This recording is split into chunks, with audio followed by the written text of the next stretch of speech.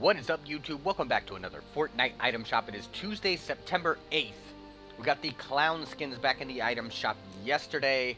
The monks comes back today, 1200 V-Bucks. The Bush Ranger also returns for 1200 V-Bucks. Does have a new style right there. The Honey Hitters, nothing too crazy, but the edit style is pretty cool. We have the Serpentine coming back, 1500 V-Bucks for her and Professor Slurpo.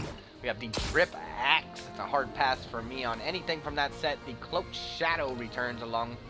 The Lemon Zest, brand new. Uh, can of Sprite. The Clean Groove.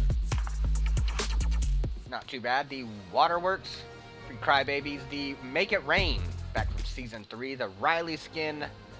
First community voted trash. The Hulk Smashers are still there. That's going to do it for today's item shop video. I'll see you at the next one.